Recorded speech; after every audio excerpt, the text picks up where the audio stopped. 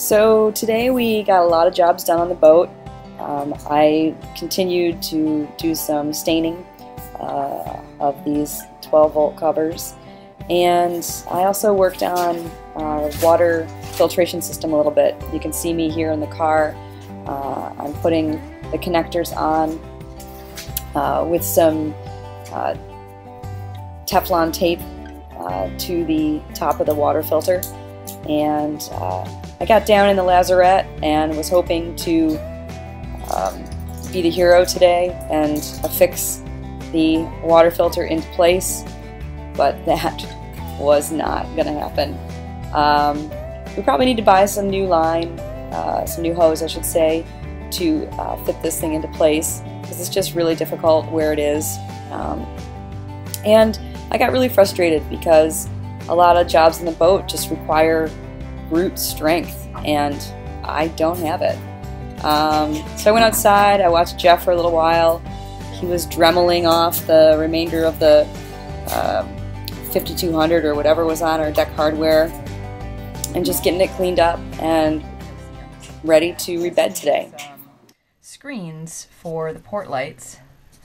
Um, initially, he wanted me to put them on the outside, but there's just really no good way to adhere them or affix them, I should say, um, to the outside of the boat. I imagine with any significant wind, they would just pop off because there's really no nothing but this small lip on the outside um, of the cabin top as well. So I think what I'm going to try to do is design something that has elastic around the outer edge and that we can just simply slip over. Hmm. I'm not sure yet, actually. I'll get back to you. Uh, from the recommendation of one of our YouTube viewers um, and Facebook friends, we are going to try this type of LED conversion light um, for our cabin lights. Um, so the other lights that we tried have LED lights all around and maybe are not pointing in the right direction and giving us the optimal light from the LEDs. So we'll try this one instead. Uh, it's three times as expensive, but if it's better, then we're willing to do it.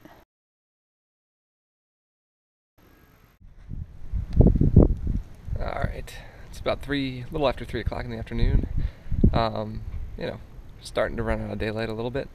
Uh, maybe got about two hours, two and a half hours left to work, and we're really trying to rebed the um, the deck hardware today because it doesn't it's not clear that we're going to get another sunny day, um, or another dry day, I should say. The rest of the time we're here, um, slowly cleaning off all the different pieces. Uh, I'll show you this later underneath the tarp here. Um, but right now I'm really working on, you know, cleaning off these pieces right here, which is uh, an extra support piece for the for, for the stanchion.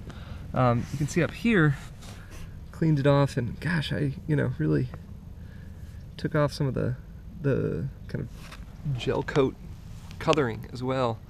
Um, trying not to do that, but there's really not too much to do about that. Um, and there's my phone ringing with the awesome Magnum PI tune. But I'll check back in a second.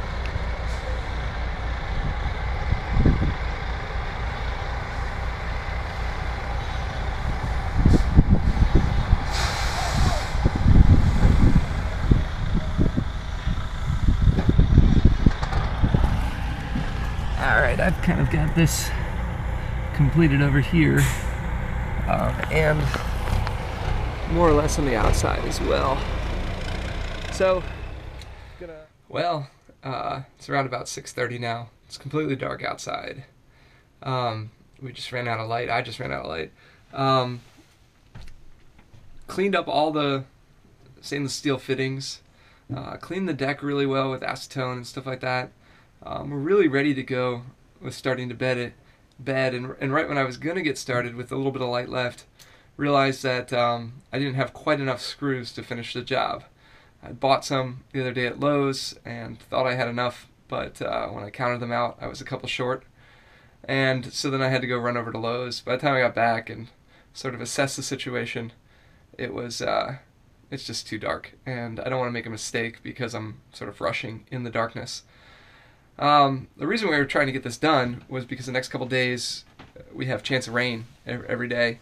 Um, tomorrow, which is Sunday, and then Monday, both look pretty bad 70 80% chance. Um, and at least tomorrow, rain almost all day. Um, so I'm going to tape up everything. We've got a tarp for over the top. Uh, there are some some holes along the side um, that I'm going to tape up, put some uh, put some plastic over them, and then we'll just be looking for a window in the in the rain to try to try to get this done. Um, you know, I mean, hopefully come Tuesday or something like that, uh, we'll have enough of a break in the weather to, to get it all finished. Um, I'm sure there's going to be some time over the next, you know, five days or six days or whatever we got left uh, to get this done. It's just pretty frustrating because we were working really hard on this all day, and um, and I just thought I was going to get it done. Uh, I can't imagine um, looking back on it, you know, or, or, starting out the day. I couldn't imagine that it was going to take me, you know, six hours, seven hours to uh, to clean off the, all the fittings um, completely and, and really clean off the deck completely.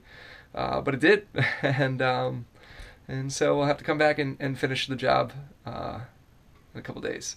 Um, so over the next couple days, as we got the rain coming, we've got a lot of stuff to take care of in the uh, cabin here. Um, you know, a lot of those hoses. We've got uh, a job over in the uh, little bit of fiberglassing uh, epoxy that we're gonna gonna put down in the in the um, shower, possibly. Uh, just a lot of jobs to, to take care of. So we're certainly going to keep ourselves busy.